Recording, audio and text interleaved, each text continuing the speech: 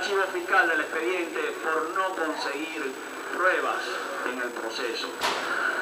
Luego, en el 2008, cuando Rosales aspira y presenta su campaña electoral, se inicia entonces las elecciones coincidentemente regionales y a su vez Hugo Chávez Fría da la orden, Manuel Rosales preso.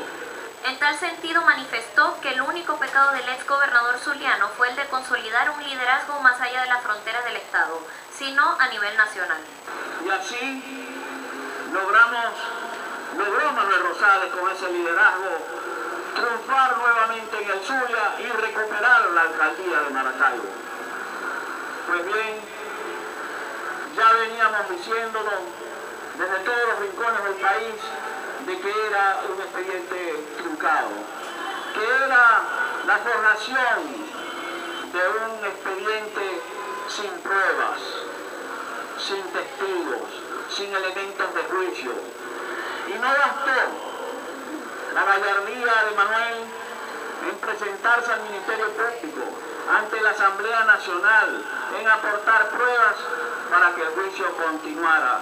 Para concluir, reiteró su reconocimiento y apoyo a la familia Rosales Trejo, ya que a su juicio el exgobernador es inocente y debe volver a Venezuela.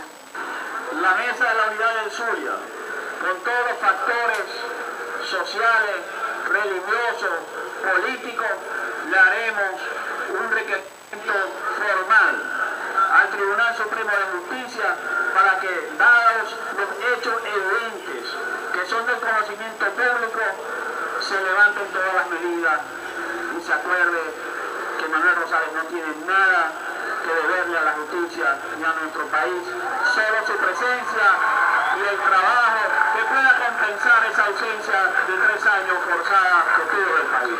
Aline Delgado, Telediario.